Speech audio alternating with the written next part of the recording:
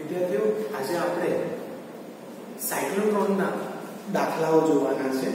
બે દાખલા છે, ચોથો અને ઓગણીસો.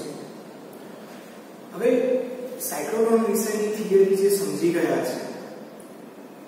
તો એના આધારે દાખલાની શરૂઆત કરીએ. તો એક સાયક્લોટ્રોનની દોલન આવૃત્તિ. આવૃત્તિ એટલે કે જેની વેલ્યુ છે 10 મેગા હર્ટ્ઝ તો મેગા હર્ટ્ઝ માંથી હર્ટ્ઝ માં જઈએ તો 10 ની 6 ઘાત અને અહીંયા 10 ની 1 ઘાત તો ખરી છે એટલે ટોટલ 10 ની 7 ઘાત પ્રોટોન્સને પ્રવેગિત કરવા માટે કેટલું ચુંબકીય ક્ષેત્ર જરૂરી છે તો અહીંયા ચુંબકીય ક્ષેત્ર B એ આપણે પહેલા શોધવાનું છે તો હવે ચુંબકીય ક્ષેત્ર શોધવા માટે કયું આપણે આવૃત્તિ વાળું સૂત્ર જોઈશું તો આપણે જાણીએ છીએ કે અહીંયા કેન્દ્રગામી બળ બરાબર ચુંબકીય બળ કેન્દ્રગામી બળ એટલે કે mv સ્ક્વેર બાય r બરાબર qb આ v કેન્સલ આ એક જે v બચ્યો એની જગ્યાએ r ઓમેગા બરાબર qb આ એક r કેન્સલ ઓમેગા બરાબર 2 pi f is equal to qb તો આપણે અહીંયા ચુંબકીય ક્ષેત્ર શોધવાનું છે માટે એ સૂત્રનો કરતા બનાવીએ તો બરાબર 2 pi m f by q આવું કંઈક સૂત્ર બનશે તો માટે b બરાબર 2 ગુણ્યા પાઈ ની વેલ્યુ 3.14 એમ દર અહીંયા આપણે પ્રોટોનની વાત કરીએ છીએ એટલે આપણે પ્રોટોનનું દળ લેવું પડે જે 1.67 10 raised to minus 27 છે ગુણ્યા f એટલે કે આવૃત્તિ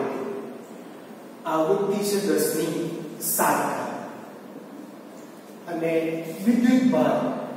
જેની વેલ્યુ છે 1.6 ઇન્ટુ 10 raised to minus 90 તો માટે b બરાબર હવે આપણે ગુણાકાર કરીએ તો 2 ગુણ્યા 3.14 ગુણ્યા 1.67 2 ગુણ્યા 3.14 ગુણ્યા 1.67 ભાગ્યા 1.6 તો આમ આપણને જવાબ 6. પંચાવન ગુણ્યા દસ ની ઘાત કેટલી તો સાત ઓછા સત્તાવીસ દસ ની ઘાત માઇનસ ઓગણીસ ઉપર જતા પ્લસ ઓગણીસ એટલે આપણને દસ ની ઘાત ઓછા એક આટલા ટેસ્લા જો દસ ની ઘાત ઓછા એક અને આપી દો તો ચુંબકીય ક્ષેત્ર 0.655 ટેસ્લા જેવું આપણને મળશે તો આગળ જો d ની ત્રિજ્યા હવે આપણને ત્રિજ્યા આ 7 સેન્ટીમીટર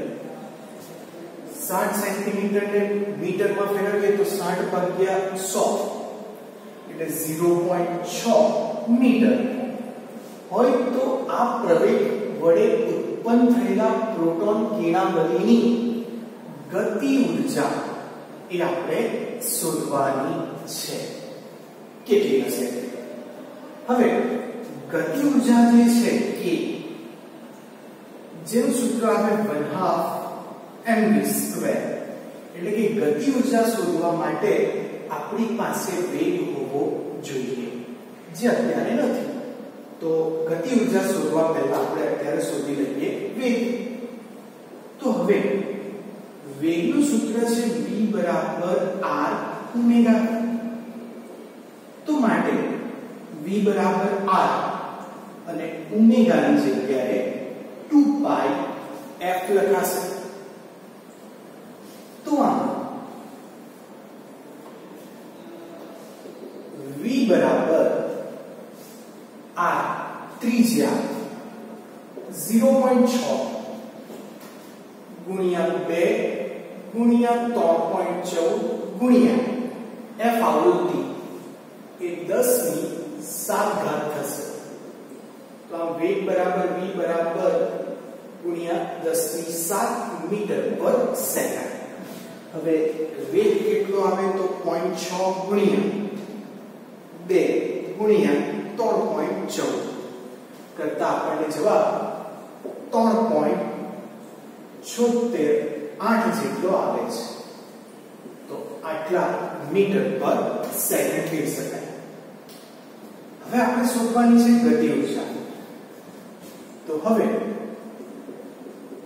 ગતિ ઉર્જા k બરાબર 1 હાફ mv સ્ક્વેર બરાબર 1 હાફ m એટલે દળ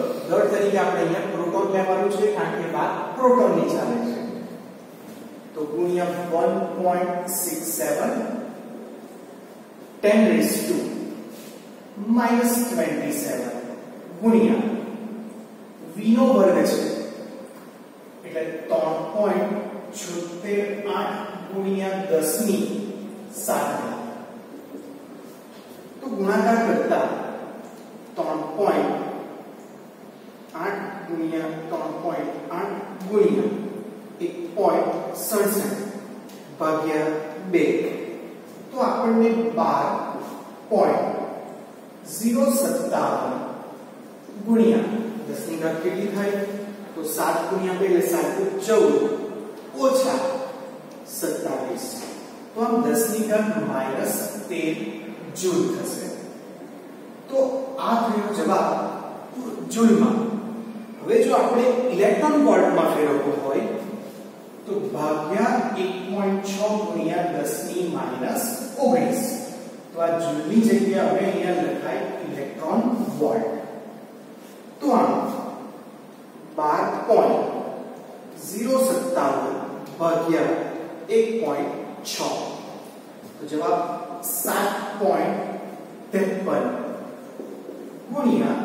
10 ની ઘાત કેટલી લખાય 6 લખાશે